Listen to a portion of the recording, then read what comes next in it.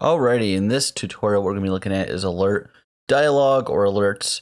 One thing I want to know is that there's there's some things in the Chakra library where you're like, is that this component or do I use this component or that component? Because there you have a lot of options to do very similar things, and so alerts, toasts, and some other things we're going to look at are pretty comparable depending on how you want to relay information to the end user. So it's okay if you're like, I don't know what to use, or you get some of these components mixed up because the same still happens to me. So what we're going to do is we're going to look at the docs, and then it looks like we have two to three examples as long as nothing blows up on us. And so let's get to reading. And so it says an alert dialog component is used to interrupt the user with a mandatory confirmation reaction. So sometimes you want to have pop-ups happen after something has happened or maybe when a background process has completed. This is meant to interrupt the user and say, hey, I need about 350 for you to continue going on. Or something along those lines, right? Maybe there's like a token that you have where you need them to sign in again. And so this takes, uh, you know, seven things you're importing here, and you're like, oh God, this is here we go again. This is going to be a giant component. But really, they're very easy to assemble. We have a dialog that the header, body, footer, overlay, and then a close button. And I mean, how technical can some of these be? Uh, you know, we have a footer, the the content, a button, a close button, right? It's not a lot when you think about it. So if we come in here, we have an alert dialog requires you to provide the least destructive ref prop. So do not do not forget that. That's very important. And this is based on the WAI ARIA specification. So focus should be placed on the least destructive element when the dialog opens to prevent users from accidentally confirming the destructive action. So we have this delete customer here and it says, Are you sure you can't undo this action afterwards? We have a cancel, we have delete. Let's click the cancel, it closes on out. So we're coming into here. Now, never mind any of this hook stuff up here. We have a button. So we're clicking this, and on click, we're setting is open to true. Is open is a state, just as a Boolean value, is kind of just um, on and off, um, you know, kind of thing it's doing right here. And so we have is open is equal to is open. So this button is obviously toggling when the uh, dialog is open.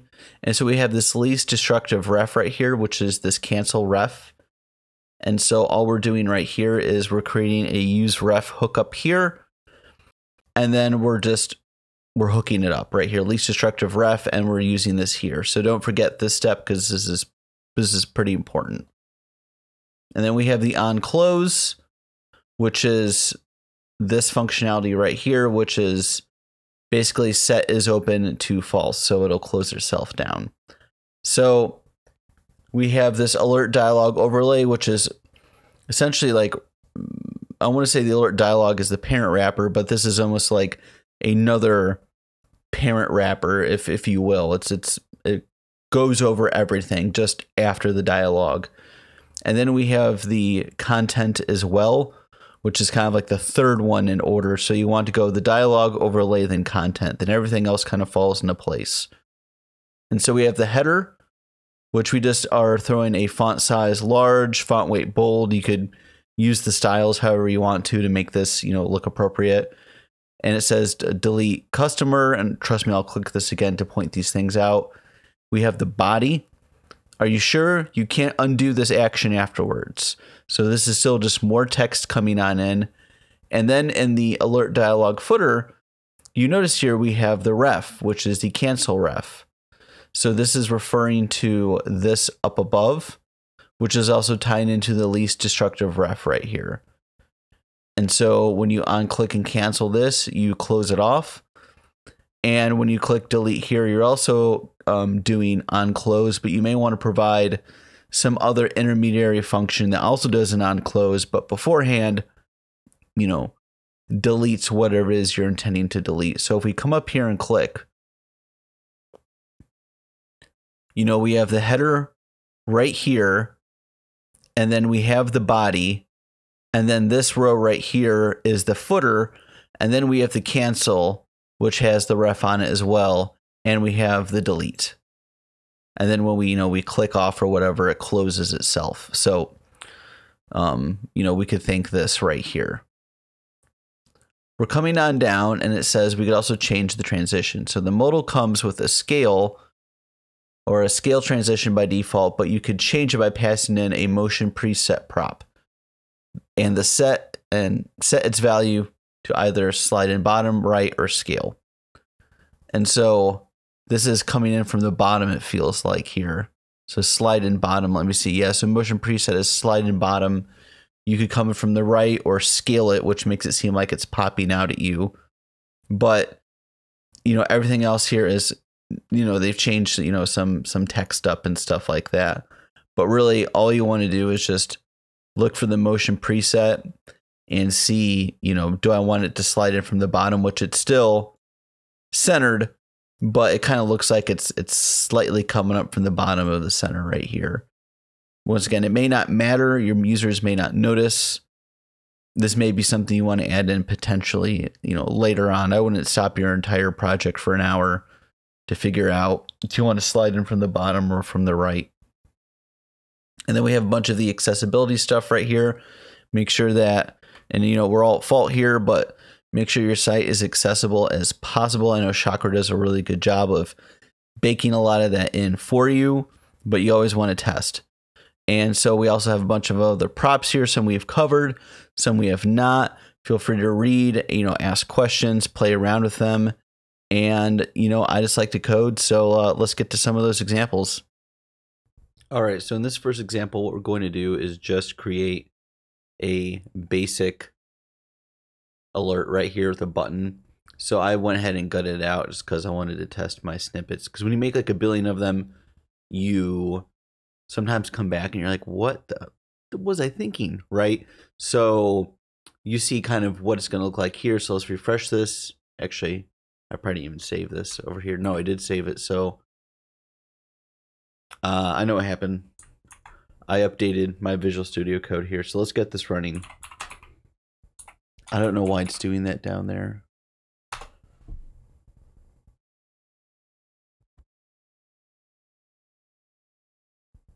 All right.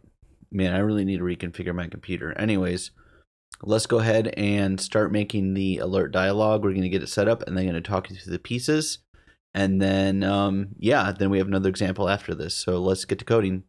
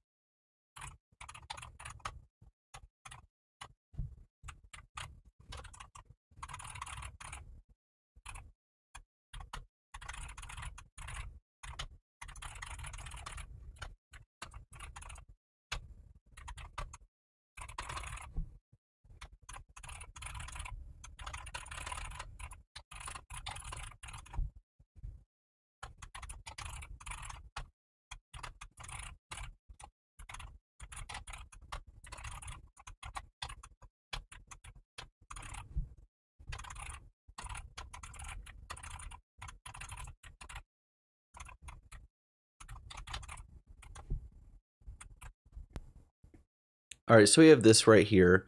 Let's come up here to the imports. So we have the provider, the button, all this alert stuff coming in here, the dialog, overlay header, body content. And I'm going to get to these hooks and function stuff here in a moment. So we have this button here, which is external to the dialog. Now, some of the pop-up feedback stuff, you kind of nest the button, which you would see here inside of the series of components it actually gives you. This is not the case with an alert dialog. So what we have is the outermost, which is the alert dialog itself. It wraps everything else. The next thing is the dialog overlay. The next thing is the alert dialog content. Those are the three outermost parents. And then let me come in here and separate these out so it's just easier to see. So now that we know these out here wrap everything, here's our innermost kind of guts of this. And so we have the header, have some stylings in here. It's a large, you know, font size, bold font weight, and it says sub to my channel. Shameless plug right there. You're already here. You might as well sub, right? And so what's going to happen is there's going to be a header that says that, and then we're going to see a dialog body. And so it's going to show you the text. In doing so, you will support a smaller channel. Who knows? Maybe a couple years from now, I'm going to have someone look at this and be like, you have a, a bazillion subscribers.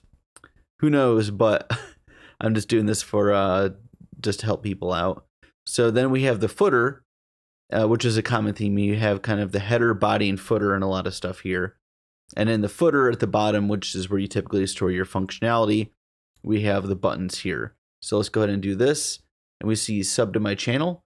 In doing so, you will support a smaller channel. Cool stuff. We have cancel and subscribe. Either one of these, you you know, you click on that, you don't really subscribe. You're gonna have to, you know, actually click on my YouTube yourself and uh, do that. We have cancel here. So let's go back and we have this cancel ref, least destructive ref. And what is this doing? So we're creating a ref up here. And what this least destructive ref is doing is essentially it should, um, according to at least the documentation, it says based on the uh, WAI ARIA specifications, focus should be placed on the least destructive element when the dialog opens. So it's placed on the cancel, right? Uh, if we, we click on subscribe, maybe it's not subscribe to my channel. Maybe it's like, you know, empty your grandma, uh, your grandmother's bank account to buy Bitcoin, right? Uh, that would be a very big oops. So it's much safer to in this alert dialog because you you must 100% have a least destructive ref in here for this to do its thing. So once you have a ref, you hook it up to the spot in here that has the least crappy outcome if someone was to choose it. In this case, cancel is fine. You're back to where you started, right? Say instead of subscribe to my channel, it says, give me all your money for Bitcoin because I'm, you know, a, a, shady scam artist. Uh, cancel. You drop. Uh, you drop out of there nothing happened, right? You hooked up the ref to the least, you know, junky output, which is what you actually need for this here. But both of them here close. So we have the subscribe as we see, click that. They're both hooked up to this on click up here. And this on close is coming up here and is setting the basically the state to false so the dialog doesn't open and you know, this button is setting it to true right here. So is there other ways, you know, I don't have to, you know, write an on close function here? Is there stuff that Chakra provides for you to, you know, essentially toggle 100%, but, you know, no way is necessarily the right way. There's just a lot of tools out there. So this is how you make a basic alert dialog. In the next section, what we're going to do is we're going to uh, center it a bit so it's at the top. So we're going to learn how to bring it down. And then we're going to learn how to do some of the motion preset kind of stuff. So everything is going to stay the same. We're going to add a couple more attributes. So I'll see y'all in a couple seconds. Alrighty, welcome back. So let's go ahead and do is centered. Is centered is automatically set to uh, true here. Otherwise, why do you bring in, you know, a property that's set to false, right? Um, that'd be kind, that'd be kind of a funny library if everything's just set to false. Anyways, we click this and we see now that it's down here, so it's centered vertically and horizontally in here. And this is a nice feature if you want to, you know, this is the best spot for your information to appear, but maybe you don't want it to. In what cases would you want it set to you know, false here. Maybe you have something up here, right? Or you, you have your alert, obviously. But maybe down here or maybe on mobile, however, whatever product is you have, maybe you have like a chart or a picture or an image or something that just happened that informs them that they need to make a decision to cancel or go ahead with whatever motion is. So even though the centering vertically and horizontally down here is really, really good idea for a lot of things, I think is very aesthetically pleasing.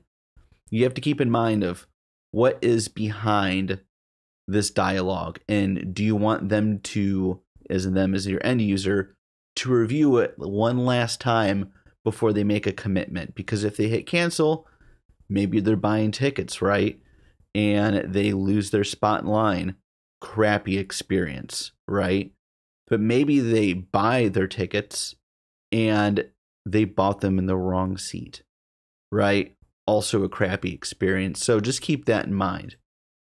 Another thing we could do is, and let's just keep this in the center here is we could have motion presets. So let's play with these here. So we have none, we have scale, slide in bottom, and slide in right. So let's choose scale.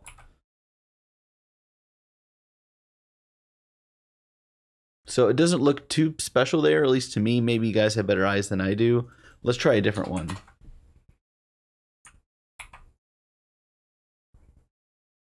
So it looks like very briefly it comes in from the bottom down here.